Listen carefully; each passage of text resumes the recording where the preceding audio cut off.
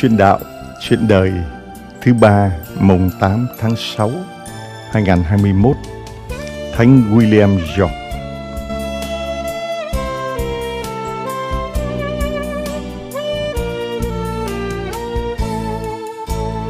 Chúa đông ân trên tay con một dấu đinh tay ta Chúa đông ân trên tay con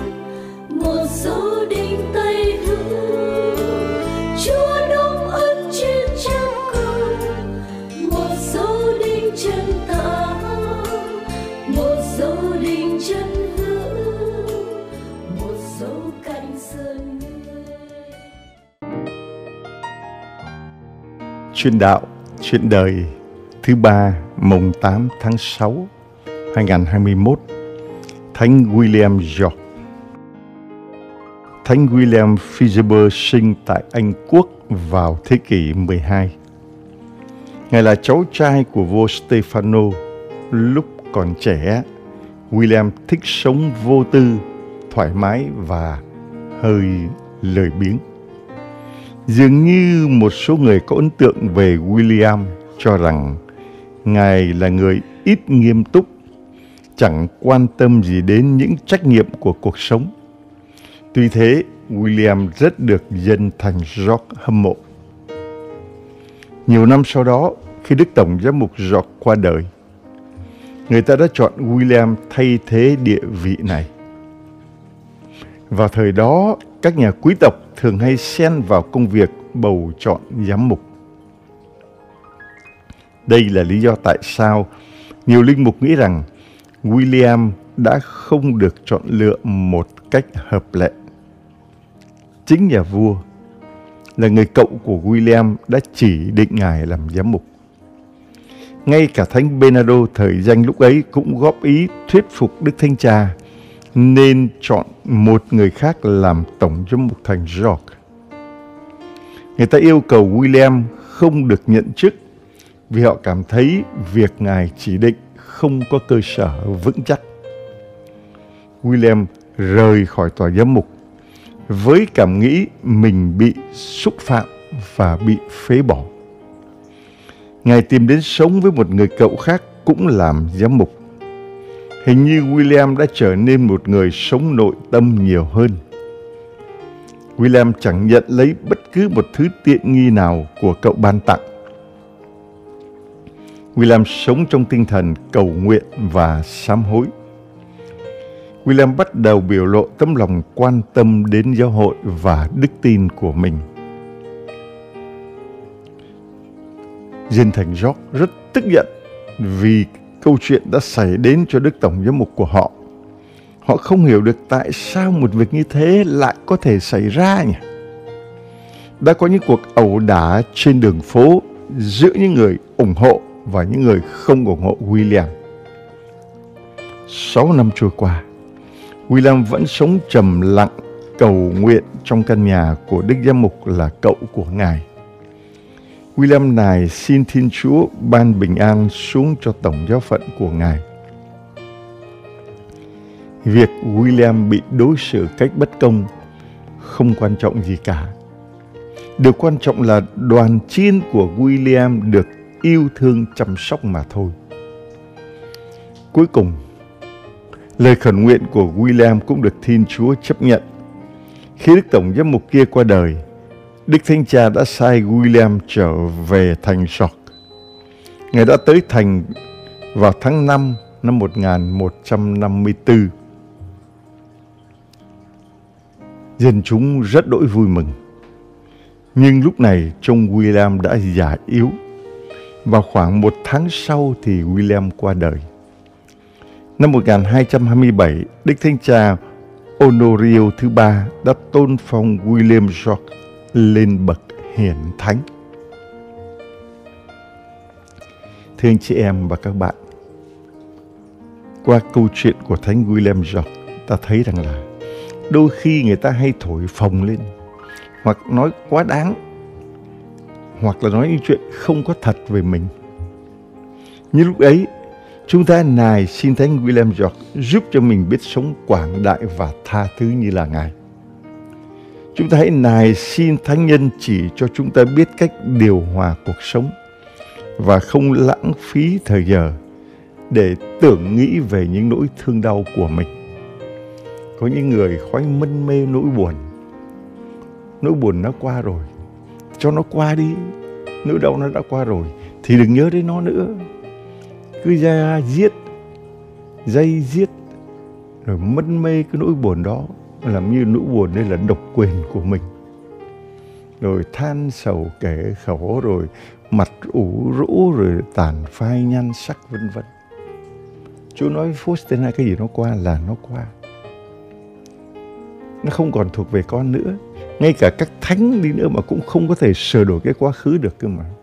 Vậy thì cái gì đã đã qua rồi, cái đau thương, cái đau buồn, đừng nhớ lại. Đừng mân mê nó. Đừng dai giết nữa. Mà hãy sống với cái hiện tại mình đang có đây.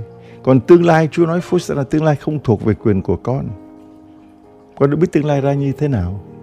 Thì hãy phó thác quá khứ để cho Chúa. Tương lai dâng lên Chúa, còn sống cái phút hiện tại đi. Chúng ta thấy Thánh William George là một con người mà người trẻ gọi là cậu ấm sinh ra trong bọc điều được nâng niu chiều chuộng được đủ mọi thứ. Là cháu của vua Stefano cho nên là vô tư thoải mái và thường những người giàu đâu muốn động chân động tay gì cả, hơi lười biếng. Cái gì cũng có kẻ hầu người hạ rồi. Mà chính cái đó làm cho con người ta dễ bị hư đi là như vậy con của những người giàu nếu mà bố mẹ không khéo dễ bị hư đi vì cái tật là lười biếng vì cái tật là ỷ nại vì cái là không động chân động tay và coi thường những công việc lao động tay chân. Rồi chúng ta thấy là thời đó thế quyền với thần quyền ờ, lẫn lộn. Thần quyền có khi xen vào thế quyền, thế quyền có khi xen vào thần quyền.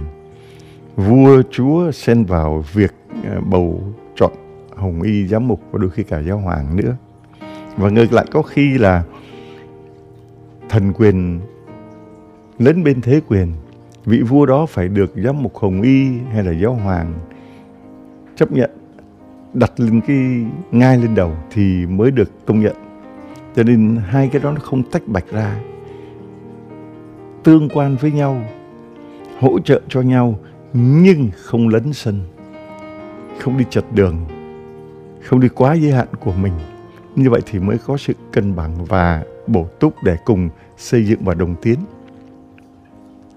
Ngược lại hồi đó là Đức Giám Mục các nhà quý tộc thì hay xen vào việc bầu chọn giám mục. Đó là lý do mà nhiều linh mục nghĩ rằng William đã không chọn lựa cách xứng đáng vì chính nhà vua, người cậu của William đã chỉ định ngài làm giám mục. Người ta yêu cầu William không được nhận chức và William đã rời khỏi tòa giám mục. Và khi mà rời như vậy thì William nghĩ rằng là mình bị xúc phạm và bị phế bỏ. Và William tận dụng lúc này đến sống ẩn giật nên nhà người cậu cũng làm giám mục và đi vào đời sống nội tâm, đời sống cầu nguyện nhiều hơn. Trước giờ, giàu có đầy đủ điều kiện sống hướng ngoại, sống phong lưu, sống đây đó, phiêu bạt. Còn bây giờ, làm giám mục mà không được do người dân chấp nhận vì đây là do người cậu chỉ định. Lúc đó William có thể dựa vào cái thế lực của người cậu mà vẫn giữ cái ngai giám mục cũng chẳng ai làm gì được. Tại vì lúc đó thấy quyền nó đang ảnh hưởng trên thần quyền. Nhưng mà William khiêm tốn chấp nhận rời khỏi tòa giám mục. Và đau chứ. Cảm thấy bị xúc phạm chứ. Cảm thấy như là bị loại trừ. Thay vì rút vào để mân mê cái nỗi buồn của mình, mặc cảm tủi thân tủi phận, hoặc là phản ứng ngược lại bằng cách chống đối, làm phản. Thì William chọn cái cách đẹp lòng Chúa nhất là đi vào trong thinh lặng để sống đời sống nội tâm nhiều hơn. Cái đó mới là cái lựa chọn đúng và đó là cái lựa chọn khó nhất. Mình hoặc là lựa chọn nổi loạn hoặc là buông xuôi.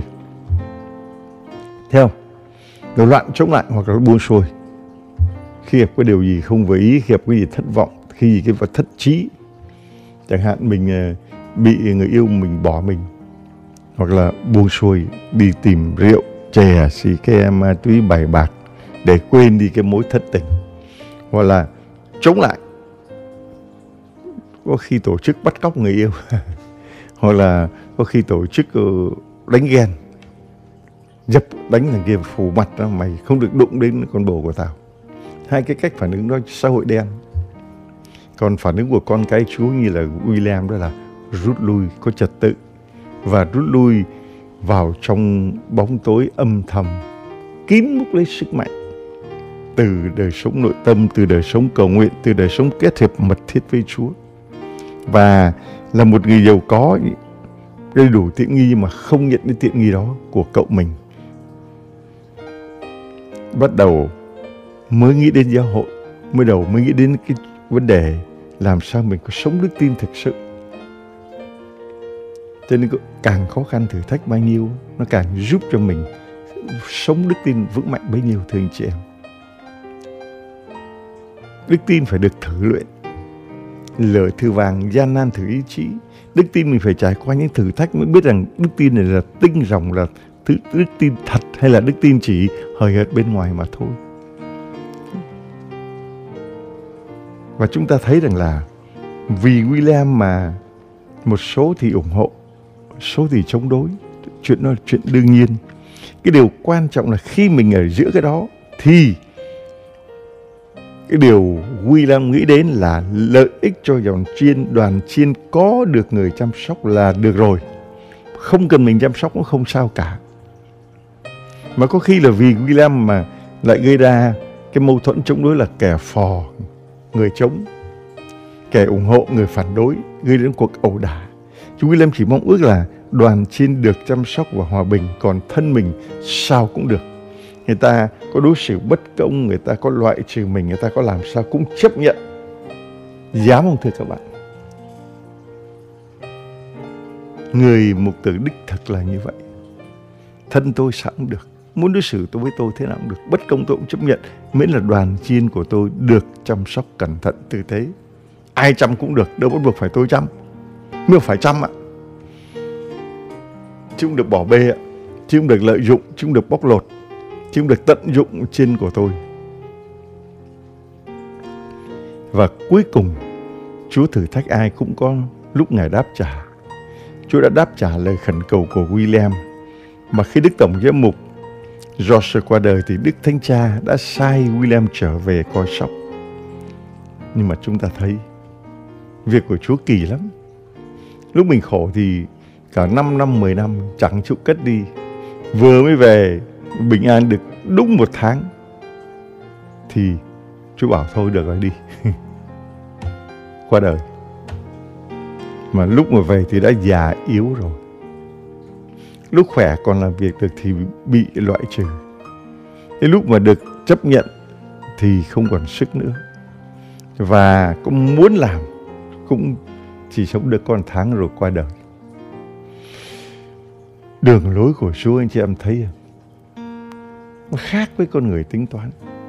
Được cái Quy Lam là chấp nhận, chấp nhận để người ta đối xử với mình sao cũng được miễn là đoàn chiên được chăm sóc cẩn thận, tử tế. Còn mình chiên nó sao kệ nó miễn là tôi được chăm sóc, tôi được người ta ờ, nuôi nấng đoàn hoàng, tôi được ăn no mặc ấm nhà cao cửa rộng. Chủ ở lầu vàng gác tía, lầu son gác tía còn chi nó kệ nó. Miễn là tôi có đầy đủ, miễn là tôi có quyền lực, miễn là tôi có thế lực miễn là tôi có tất cả. Còn đoàn chiên nó sống chết mặc bay đó là kẻ chân thuê chứ không phải là mục tử đích thực. Còn mục tử đích thực là như là William George người ta đối xử với tôi bất công loại trừ thế nào đau lắm nhục nhã lắm. Nhưng miễn là đoàn chiên được chăm sóc tử tế là được rồi. Xin Chúa cho có nhiều mục tử, đích thật chăm sóc đoàn chiên, hy sinh về đoàn chiên ngày hôm nay như Thánh William Jock. Amen.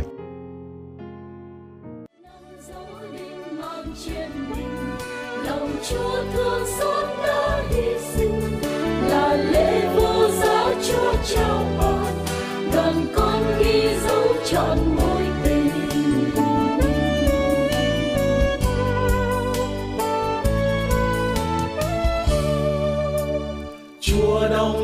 trong tim con. Một dấu son tươi đỏ Chúa đông ân trong tim con. Một dấu son yêu mến, Chúa đông ân trên thân con. Tình Chúa luôn êm dịu, tình Chúa luôn cao quý. Tình Chúa thuần tuyệt vời năm dấu đinh mang trên mình. Lòng chúa thương xót